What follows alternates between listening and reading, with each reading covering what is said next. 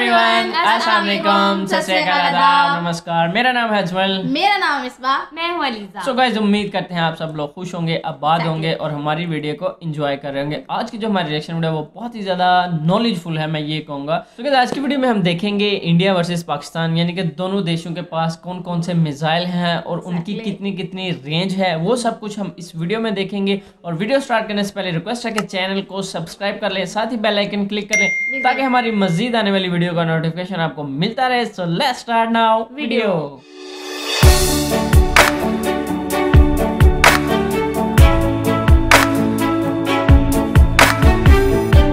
start दोस्तों अगर कोई भी देश युद्ध करता है तो उसमें मिसाइलें अहम रोल अदा करती हैं। बहुत अहम रोल अपने करती दुश्मन को मिसाइल के माध्यम से तबाह कर सकता है। दूर से आप दुनिया में एक से खतरनाक मिसाइलें हैं। और आज मैं आपको भारत और पाकिस्तान की मिसाइलों के बारे में बताऊँगा। साथ ही इनकी तुलना भी करूँगा। तो हम्म। चलिए जान लेते हैं। लेकिन उससे पहले आप मेरे चैनल को सब्सक्राइब कर लीजिए और बेल आइकन को भी दबा लीजिए।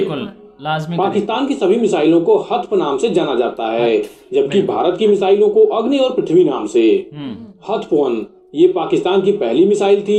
ये कम दूरी की बैलिस्टिक मिसाइल है जिसकी मारक क्षमता 70 से 100 किलोमीटर है और यह अपने साथ 500 किलोग्राम तक का विस्फोटक ले जा सकती है। 500 वहीं भारत की पहली मिसाइल की बात की जाए तो वो है पृथ्वी वन ये भी एक कम दूरी की बैलिस्टिक मिसाइल है इसकी मारक क्षमता 150 किलोमीटर है और यह अपने साथ 500 किलोग्राम तक विस्फोटक ले जा सकती है। तो वो जो दूसरा वो टू, इसे ज़्यादा रेंज है के नाम से लेकिन भी जाना जाता है। सेम सेम इसकी मारक क्षमता 180 से 200 किलोमीटर है और ये अपने साथ 250 से 450 किलो तक विस्फोटक ले जा सकती है। पृथ्वी टू इसकी मारक क्षमता 250 किलोमीटर है और यह अपने साथ 1000 किलोग्राम तक विस्फोटक ले जा सकती है। हथ थ्री इसे गजनवी के नाम से भी जाना जाता है। इसकी मारक क्षमता 290 किलोमीटर तक है और ये अपने साथ 700 किलो तक विस्फोटक ले जा सकती है। इसको साल 2004 में पाकिस्तानी सेना में शामिल किया गया था। ये परमाणु और परंपरागत दोनों हथियार ले जाने में सक्षम है। पृथ्वी थ्री। भारत की पृथ्वी थ्री मिसाइल भी परमाणु हथियार ले जाने में सक्षम है और इसे किसी भी जहाज़ या पनडुब्बी से भी दागा जा सकता है। इसकी मारक क्षमता इसमें लोड किए गए विस्फोटक पर निर्भर करती है। इसकी मारक क्षमता 250 से साढ़े सात सौ किलोमीटर तक होती है और ये अपने साथ 250 किलो से लेकर 1000 किलो तक विस्फोटक ले जा सकती है। सही। इसे साहिन भी कहते हैं। कम दूरी की ये शाहीन। बैलिस्टिक मिसाइल साढ़े सात सौ किलोमीटर तक लक्ष्य को निशाना बना सकती है। और ये अपने साथ एक हज़ार किलो तक विस्फोटक ले जाने में सक्षम है। अब यहाँ से भारत की अग्नि सीरीज़ शुरू हो जाती है। अग्नि वन इसकी मारक क्षमता 750 से 1250 किलोमीटर तक है। और ये अपने साथ 1500 किलोग्राम तक का विस्फोटक ले जा सकती है। 1500 किलोग्राम। हत्व फाइव इसे गौरी मिसाइल भी कहते हैं। ये एक मध्यम दूरी की बैलिस्टिक मिसाइल है। इसकी मारक क्षमता 1250 से 1500 किलोमीटर है और ये अपने साथ 1000 किलो तक विस्फोटक ले जा सकती है। अग्नि टू इसकी मारक क्षमता वाह। 2000 से 3500 किलोमीटर है और ये अपने। साथ 1500 से 2500 किलो तक विस्फोटक ले जा सकती है। 1500 से हत्व 2500 सिक्स इसे साहिन टू भी कहते हैं। ये भी मध्यम दूरी की बैलिस्टिक मिसाइल है। इसकी मारक क्षमता 1500 से 2000 किलोमीटर है और ये अपने साथ 100 किलो तक विस्फोटक ले जा सकती है। अग्नि थ्री इसकी मारक क्षमता 3500 से 4000 किलोमीटर है और ये अपने साथ 1500 किलो तक विस्फोटक ले जा सकती है। ये ज़मीन से ज़मीन पर 2200 किलोमीटर तक मार करने में सक्षम है और ये अपने साथ 1500 किलो विस्फोटक ले जा सकती है। अग्निपुर। इसकी मारक क्षमता 4000 से 5000 किलोमीटर है और ये अपने साथ 1500 से 2000 किलो विस्फोटक ले जा सकती है. साहिम थ्री ये पाकिस्तान की सबसे अधिक दूरी तक मार करने वाली मिसाइल है। इसकी मारक क्षमता 2750 किलोमीटर है और ये अपने साथ 1500 किलो विस्फोटक ले जा सकती है। वहीं भारत की सबसे अधिक दूर तक मार करने वाली मिसाइल की बात की जाए तो वो है अग्नि फाइव इसकी मारक क्षमता अच्छा, पचपन से आठ हज़ार किलोमीटर तक है। जो कि पाकिस्तान की शाहीन साहिन से दो गुनी अधिक है। इसके साथ ही ये अपने साथ 1500 से 2000 किलो तक विस्फोटक ले जा सकती है। हथ नाइन इसे नस्र भी कहते हैं। ये मिसाइल ज़मीन से ज़मीन पर मार करने में सक्षम है। इसके साथ ही ये मिसाइल अपने साथ परमाणु हथियार भी ले जा सकती है। इसकी मारक क्षमता 60 किलोमीटर है और पाकिस्तान दावा करता है कि ये एंटी मिसाइल डिफेंस सिस्टम को भी मात देने में सक्षम है। सौर्य मिसाइल सौर्य मिसाइल अपने साथ एक टन वजनी परमाणु और युद्ध की सामग्री को साढ़े सात सौ किलोमीटर से अधिक दूर तक ले जा सकता है। इस मिसाइल को पानी के अंदर से भी उतनी आसानी से दागा जा सकता है जितनी भूमि के अंदर से। एक सुपरसोनिक मिसाइल है। इसकी मारक क्षमता 750 किलोमीटर तक है। हथपेट। इसे रात क्रूज मिसाइल भी कहते हैं। ये 350 किलोमीटर से अधिक मार करने वाली मिसाइल है। साथ ही ये मिसाइल कम ऊंचाई पर अधिक कुशलता से मार करने में सक्षम है। ये अपने साथ परमाणु हथियारों को भी ले जा सकती है। निर्भय मिसाइल। ये एक लंबी दूरी की सबसोनिक क्रूज मिसाइल है। सतह से सतह पर मार करने वाली इस मिसाइल को हर मौसम में दागा जा सकता है। निर्भय कई लक्ष्यों के बीच हमला करने में सक्षम है। इस मिसाइल में मडराने की भी क्षमता है जिससे यह कई पैतरेबाजी प्रदर्शन कर सकती है। दो पंखों के साथ ये मिसाइल 500 मीटर से लेकर 4 किलोमीटर की ऊंचाई तक उड़ान भरने में सक्षम है। ये दुश्मन के रडार द्वारा पता लगाने से बचने के लिए नीची ऊंचाई पर भी उड़ान भर सकती है।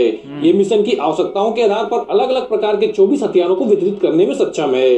इस मिसाइल की मारक क्षमता 1000 से 1500 किलोमीटर तक है। हथ सेवन इसे बाबर क्रूज मिसाइल के नाम से भी जाना जाता है। ये साढ़े तीन सौ से सात सौ किलोमीटर तक मार कर सकती है। ये पाकिस्तान की एक सबसोनिक क्रूज मिसाइल है जिसको ज़मीन से लॉन्च किया जा सकता है। साथ ही ये अपने साथ 450 किलो तक विस्फोटक ले जाने में सक्षम है। ब्रह्मोस मिसाइल। ये मिसाइल भारत का सबसे खतरनाक हथियार है ब्रह्मोस को दुनिया के सबसे तेज सुपरसोनिक मिसाइल माना जाता है जिसकी रफ्तार तीन मैक यानी ध्वनि की रफ्तार के बराबर है। इस मिसाइल की रेंज 300 किलोमीटर है और ये 290 किलोग्राम भारी युद्धक सामग्री ले जा सकती है। ब्रह्मोस जैसी क्षमता वाली मिसाइल चीन और पाकिस्तान के पास भी नहीं है। इसके अलावा भी भारत के पास कई मिसाइलें हैं K four missile K four missile पनडुब्बी के लिए निर्मित मिसाइल है। इसे पानी से सतह पर दागा जा सकता है।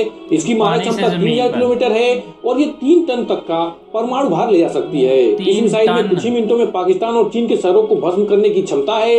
यह एक सबमरीन लॉन्च बैलिस्टिक मिसाइल है। के फोर एक हल्की तेज और आसानी से रडार की पकड़ में न आने वाली मिसाइल है। बराकेट मिसाइल ये सतह से हवा में मार करने वाली मिसाइल है। इस मिसाइल का विकास भारत ने इसराइल के साथ मिलकर किया है। बराकेट मिसाइल की क्षमता 70 से 90 किलोमीटर है। तीन टन भारी ये मिसाइल 70 किलोग्राम का भार ले जाने में सक्षम है। सही। बराकेट भारतीय नौसेना के लिए काफ़ी महत्वपूर्ण है क्योंकि इसमें पाकिस्तान और चीन की नौसेना द्वारा दागे जाने वाले किसी भी पोतरोधी मिसाइल को नष्ट करने की क्षमता है। यह मिसाइल दुश्मन और से दागी जाने वाली मिसाइलों विमान और ड्रोन के खिलाफ शक्तिशाली ढाल की तरह काम करती है। नाग मिसाइल। नाग मिसाइल का वज़न 42 किलोग्राम है। ये मिसाइल आठ किलोग्राम विस्फोटक के साथ चार से 5 किलोमीटर की दूरी तक अपने लक्ष्य को ध्वस्त कर सकती है। हमले के समय इसकी गति 230 मीटर प्रति सेकंड होती है। इसकी सबसे बड़ी खासियत यह है कि दागे जाने के पहले सेकंड के बाद इसमें से धुआँ नहीं निकलता है जिसके कारण इसके दागे जाने के स्थान के बारे में दुश्मन को पता नहीं चल पाता है। आकाश मिसाइल। ज़मीन से आसमान में मार करने वाली आकाश मिसाइल 25 किमी तक आसमान में आते खतरे को पल भर में खत्म कर सकती है। आकाश बेशक छोटी रेंज की सुपरसोनिक मिसाइल है लेकिन ये एक साथ अलग अलग दिशा से आते कई दुश्मनों को खात्मा कर सकती है। आकाश में लगा महज एक रडार आसमान में छिपे चौसठ दुश्मनों को खोज सकता है। तो आपको पता चल गया होगा कि इन दोनों देशों में किसकी मिसाइलें सबसे बेहतर हैं। तो दोस्तों वीडियो पसंद आया हो तो इस वीडियो को लाइक कर लीजिए और चैनल को सब्सक्राइब कर लीजिए और आपका कोई सुझाव हो तो हमें कमेंट में बता दीजिए। बिल्कुल। बिल्कुल जी आज वाली वीडियो वाकई बहुत ज़्यादा इन्फॉर्मेशन वाली थी। इसमें हमें मतलब पता था मिसाइल का लेकिन इतना ज़्यादा नहीं था। थोड़ा बहुत पता था दो तीन जो हैं पाकिस्तान के हों या चाहे इंडिया के हों। लेकिन इस वीडियो में हमें काफ़ी ज़्यादा चीज़ें पता चली हैं कि किस मुल्क के पास कौन कौन से मिसाइल हैं और वो कितनी रेंज तक जो है मार कर सकते हैं। और ये वीडियो बनाने का मकसद किसी को मतलब बड़ा या छोटा दिखाना नहीं है। ये जस्ट इन्फॉर्मेशन के लिए थी।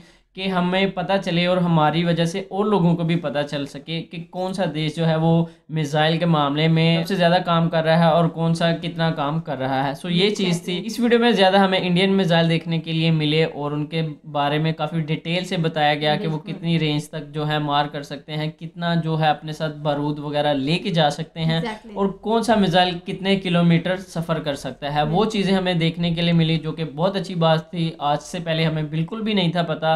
ओवरऑल वीडियो बहुत कमाल की थी बहुत ज़्यादा नॉलेजफुल थी। Exactly, बहुत ज़्यादा इन्फॉर्मेशन वाली वीडियो थी और इसमें मिसाइल के बारे में पता चला कि कौन सा मज़ाइल मिसाइल सबसे ज़्यादा खतरनाक है और जो सबसे ज़्यादा लो है मुझे तो वही बहुत ज़्यादा खतरनाक लग रहा था कि यार ये इतनी दूर तक जा सकता है और लाखों करोड़ों लोगों की ज़िंदगी तबाह कर सकता है। बिल्कुल। हम मतलब ये जो है ना ये मिसाइल खुदा ना करे कभी ऐसा टाइम आए कि Exactly, यूज़ हो ये जस्ट एक मुल्क को स्ट्रॉन्ग बनाने के लिए होते हैं कि भाई अगर आप हमला करेंगे तो हमारे पास भी जो है वो हाँ। इस तरह के हथियार हैं कि हम भी आप पे हमला Exactly, करेंगे। uh, लेकिन मिसाइल से ज़्यादा इंसान के अंदर जो है ना वो जज्बा होना चाहिए वो जोश होना चाहिए। जो इंसान लड़ाई कर सकते हैं वो मिसाइल नहीं। मिसाइल कहीं भी आपका साथ छोड़ सकते हैं लेकिन इंसान आपका साथ कभी भी नहीं छोड़ सकता। एनीवेज मैं यही बात करने वाली थी कि मिसाइल चाहे छोटे हैं चाहे बड़े हैं चाहे जैसे भी हैं कभी भी नहीं यूज़ करने की ज़रूरत ना पड़े। जैसे हम लोग अपनी ज़िंदगी गुजार रहे हैं वैसे ही गुजारते रहे हँसी खुशी और वाकई ही वीडियो बहुत ज़्यादा इन्फॉर्मेशन वाली थी बहुत ज़्यादा पता चला। एंड नो डाउट के इस वीडियो में जो है इंडिया के मिसाइल के बारे में ज़्यादा बात की गई। वो बहुत ज़्यादा अच्छे थे। बिल्कुल। और आई थिंक आपको आज की वीडियो पसंद आई होगी। हमारा रिएक्शन अच्छा लगा होगा। और अगर हमारी कोई बात बुरी लगी हो तो उसके लिए हमें इग्नोर कर दें सो प्लीज़ गाइस चैनल को like share comment and subscribe करें। Thank you so much for watching